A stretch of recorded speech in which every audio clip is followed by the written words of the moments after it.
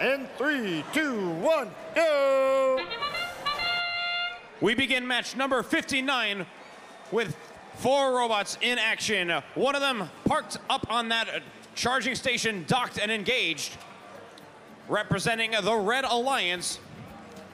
484 trying to climb their way up on that charge station. But a dock Docking will be perfectly serviceable as we move into tele-operated period. Drivers step forward and operate their machines.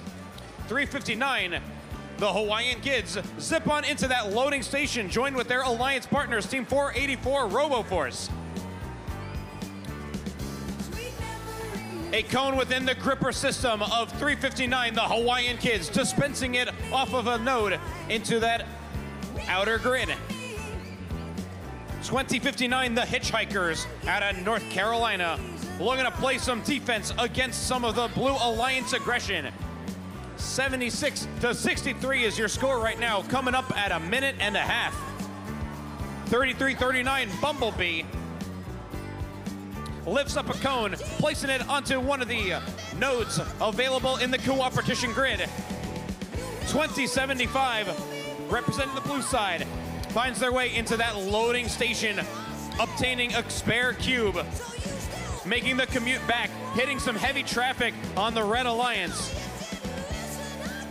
But Enigma Robotics places another cube down into one of the available nodes.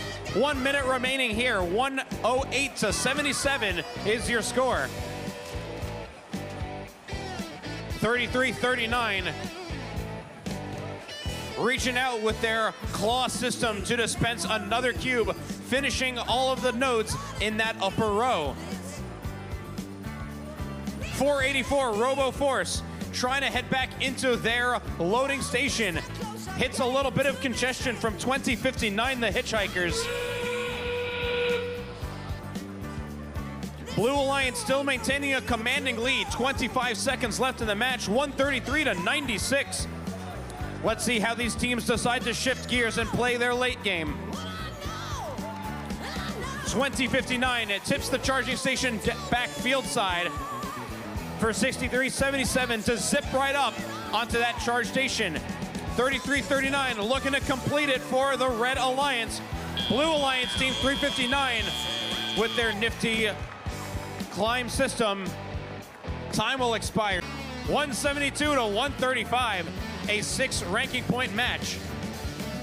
Each alliance grabbing those two ranking points from the grid and charge station bonuses. Blue Alliance taking the lead gets them that extra two. We'll be right back with match number 60.